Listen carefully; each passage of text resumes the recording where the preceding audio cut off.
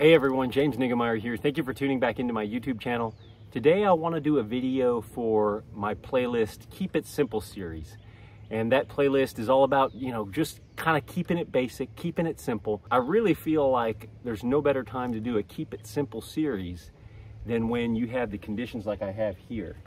Before I get right into it, if you haven't already subscribed to my channel, please hit that subscribe button. And if you like this video, please give me a thumbs up and drop a comment down below. So the conditions that I have here are high muddy water. I'm at the north end of a reservoir where there's a lot of current. I'm seeking some areas that are more stable, not a lot of current, more uh, slack water areas, if you will. And I want to talk about a lure selection or the lure selection that I would keep it simple with when faced with high, muddy, or very stained water like I have here.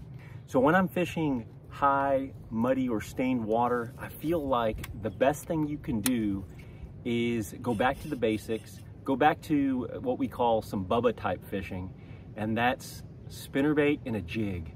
And when it comes to selection of, you know, trailers and weights and colors, I definitely like to make my presence known.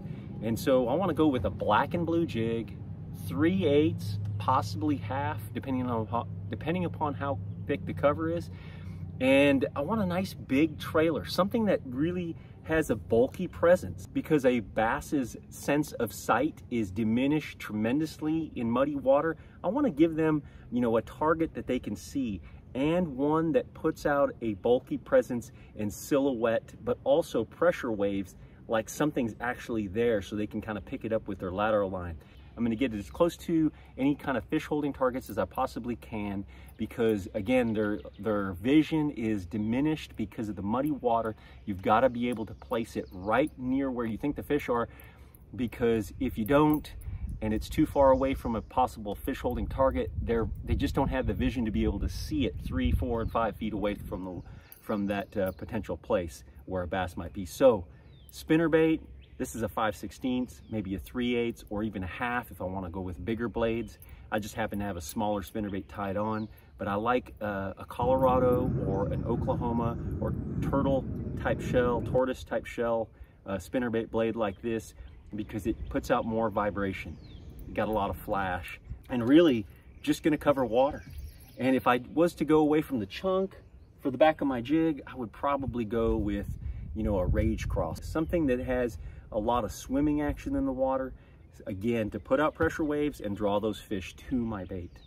So that's really it, you guys. Keeping it simple with a couple of baits and really I'm gonna cover water and I'm gonna make accurate casts with my jig and my spinner bait and try to put those baits in and around fish holding targets because again, their sense of vision is gonna be diminished. They're gonna rely on that lateral line. You gotta put it close to them and you wanna have something with a bulky presence, either darker colors or brighter colors. I don't generally go with natural colors in dirty water. Well, I had the camera turned off. It looks like it's gonna storm here pretty quick, but I just caught that beauty right there on that exact spinner bait.